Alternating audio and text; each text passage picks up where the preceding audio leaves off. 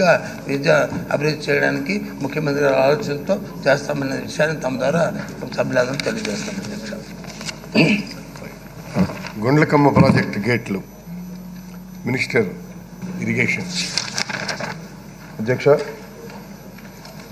వారి ప్రశ్న గుళ్ళకమ్మ ప్రాజెక్టు కస్ట్ గేట్లు వరదల్లో కొట్టుకుపోయిన విషయం వాస్తవమేనా? అయినచో కస్ట్ గేట్లు తిరిగి అమర్చుటకు ప్రభుత్వం తీసుకున్న చర్యలేమిటి? మొదటి ప్రశ్నకు అవునండి. గేటు కుంగిపోవడం వలన ముప్పై ఒకటి ఎనిమిది రెండు వేల ఇరవై రెండున మూడవ గేటు యొక్క దిగువ ఒకటి బై మూడవ భాగం కొట్టుకుపోయింది. స్టాప్ లాక్ గేట్ల సాయంతో రెండు వేల ఇరవై రెండు ఇరవై మూడు రబీ నీరు అందించేందుకు వీలుగా వెంటులు మూసివేసి నీటిని నిల్వ చేయడం జరిగింది. జలాశయం యొక్క స్పిల్వే గేట్లు మరమ్మతులకు మరియు పునఃస్థాపనకు తొమ్మిది వందల పదిహేడు లక్షల మొత్తాన్ని మంజూరు చేయడం జరిగింది. ఇది అధ్యక్ష. సరే ప్రశ్న వేసిన వాళ్ళు ఎవరు లేరనుకోండి?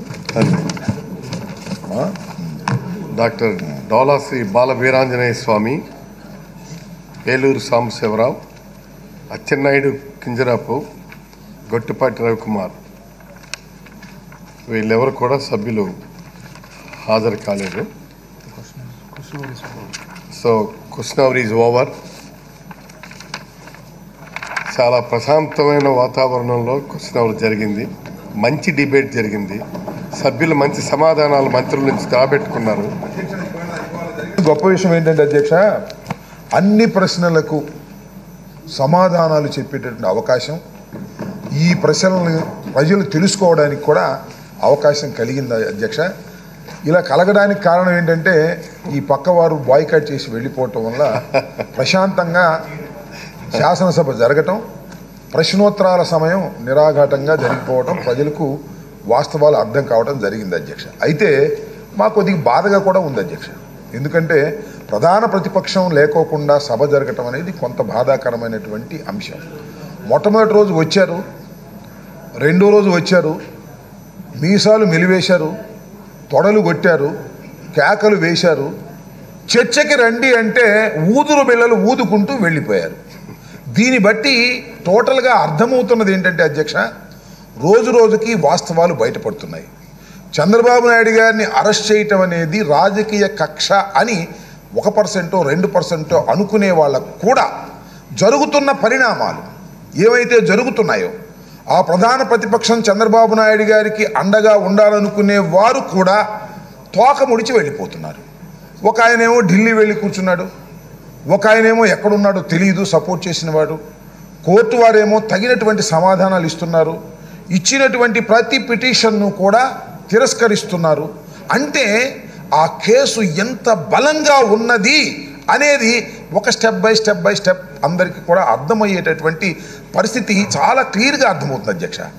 చంద్రబాబు నాయుడు గారిని రెండు రోజుల పాటు కస్టడీకి ఇచ్చారు విచారణ చేశారు. ఆయన ఏమంటారంటే కస్టడీలో నేను బాగా సహకరించాను విచారణ అంటారు. కానీ కస్టడీకి వెళ్ళినటువంటి బృందం మాత్రం వారు సహకరించలేదనే మాట మాట్లాడుతున్నారు. ఇలా పరిణామాలు రాబోయే కాలంలో మరింత వివరంగా ప్రజలకు అర్థమవుతాయి. చంద్రబాబు నాయుడు గారు జీవితం అంతా కూడా అన్యాయాలు అక్రమాలు మోసాలతోనే వారు ఈ రాజ్యాధికారాన్ని చలాయించారు. రాజకీయాలు డబ్బుమయం చేసినటువంటి వ్యక్తి ఈ భారతదేశంలో ఎవరైనా ఉన్నారు అంటే చంద్రబాబు నాయుడు గారు. ఎవరైతే డబ్బుమయం చేస్తారో ఏమవుతుంది అధ్యక్ష? నెక్స్ట్ అధికారంలోకి రాగానే డబ్బు గుంజుకుందాము అనుకుంటారు. అదే జరిగింది ఇక్కడ. ఒక స్కామ్ రెండు స్కాములు మూడు స్కాములు దొరికినంత వరకు దొరకనివి చాలా స్కామ్స్ ఉండొచ్చు. కాబట్టి రోజు రోజుకి జరుగుతున్న పరిణామాలు చాలా తేట తెల్లవిగా అర్థమవుతూ ఉన్నాయి. చంద్రబాబు నాయుడు గారు అనేక తప్పిదాలు అధికారంలో ఉండంగా చేశారు. వారే కాదు వారు కుటుంబ సభ్యులు కూడా తప్పిదాలకు పాల్పడ్డారు. డబ్బుని విపరీతంగా ప్రజా ఖజానా నుంచి దోచుకున్నారు. దీన్ని మనం ఎస్టాబ్లిష్ చేయటంలో ప్రభుత్వం ఎస్టాబ్లిష్ చేయటంలో కానీ న్యాయస్థానాలు కూడా అర్థం చేసుకున్నాయి కాబట్టి దొరికిన దొంగ ఇక తప్పించుకోలేడు అనేటువంటి భావన ప్రపంచానికి అర్థమవుతున్న దశ అధ్యక్ష అందువల్లనే ఆ సీట్లన్నీ ఖాళీగా ఉన్నాయి పారిపోయారు. లేకపోతే చర్చకు వచ్చేవాళ్ళు స్కిల్ స్కామ్ గురించి మాట్లాడేటప్పుడు వినేవాళ్ళు వారు కూడా మాట్లాడేవారు. మాట్లాడవలసిందిగా ఆహ్వానించినా కూడా పారిపోయినటువంటి సందర్భాన్ని మీ ద్వారా కోరుతున్న అధ్యక్ష. రాష్ట్రంలో ఉన్న ప్రజానీకం ఈ విషయాన్ని అర్థం చేసుకోవాలని ఇది రాజకీయ కక్ష కాదు. తప్పు చేశారు కాబట్టి ఆయన అరెస్ట్ అయ్యాడు. తప్పు చేసిన వారు ఎంతవారైనా ఈ ప్రజాస్వామ్యంలో అరెస్టు కావలసిందే న్యాయస్థానాన్ని ఎదుర్కోవలసిందే. ఆయన ముఖ్యమంత్రి అయిన కేంద్రంలో చక్రం తిప్పినా తప్పదు అని ప్రజాస్వామ్య సూత్రాన్ని ఇవాళ మనం తెలుసుకోవాలని మీ ద్వారా రాష్ట్ర ప్రజానీకాన్ని వినయంగా కోరుతున్నాను అధ్యక్ష.